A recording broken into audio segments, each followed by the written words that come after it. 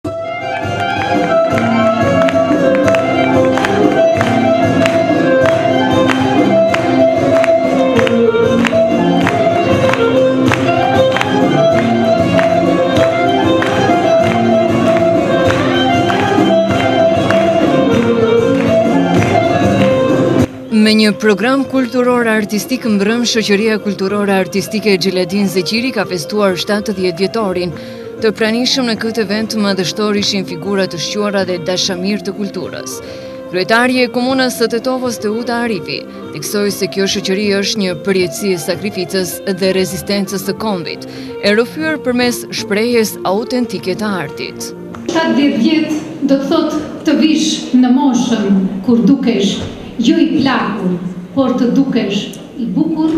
i thellë, i menduar dhe në të njëjtën kohë me shumë mesazhe për të ardhmen. Shoqëria jonë, Xheladin Zeqiri, kam thënë gjithmonë që është brendi i qytetit të Tetovës. Qyteti i Tetovës ka disa brende me cilat vite me radhë identifikohet, Njëra është Xheladin Zeqiri, një tjetër brend është Shkëndija, kurse unë kurse unë dëshiroj që ta shfrytëzoj për të qenë në këtë linjë me atë që tha edhe Jona në udhëheqjen e vet, t'i falënderohem edhe një brendi tjetër, ajo është Njësia e Shpëtimit dhe Njësia Kundër Zjarrit të qytetit të Tetovës, e cila dje u dekorua nga kryeministri.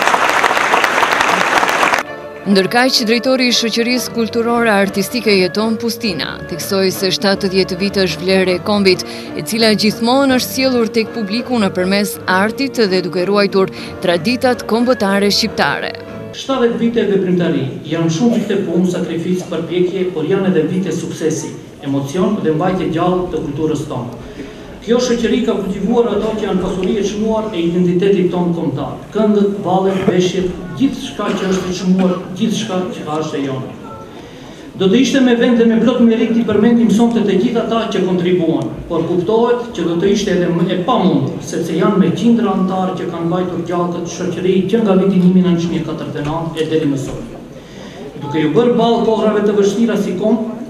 ne kemi kaluar në këto anë sidomos kur vjen fjala për artin dhe kulturën. Sot jemi krenarë me punën dhe veprat e gjithsecilit prej tyre dhe akoma më krenarë na bën fakti se në Ansamblin Shtetëror të Këngëve dhe Valleve Shqiptare në Republikën e Maqedonisë së Veriut një numër i konsiderueshëm anëtarësh nga kjo shoqëri janë bërë pjesë me plot merita pjesëtarë të Ansamblit